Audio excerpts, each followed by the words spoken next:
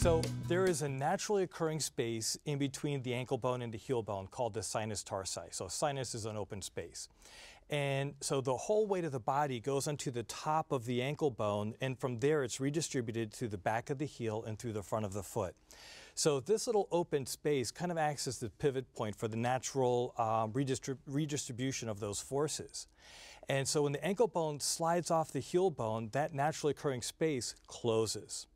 So, um, so the treatments for this include arch supports, Now, let me stop Yeah, you there because yeah. a lot of us have tried that before. Right. And and you feel it, and, and some of the arch supports are really hard. I Right. mean, bang them on the table, right? Yeah. And they go up and they push up inside your the arch. arch, it's an okay. arch, right. And it, it feels different, Sure. you know. And it, it's funny because it's like it kind of hurts. And I know that a lot of times people put them in, they wear them too much at first, Right. Because your body can't take that much, right?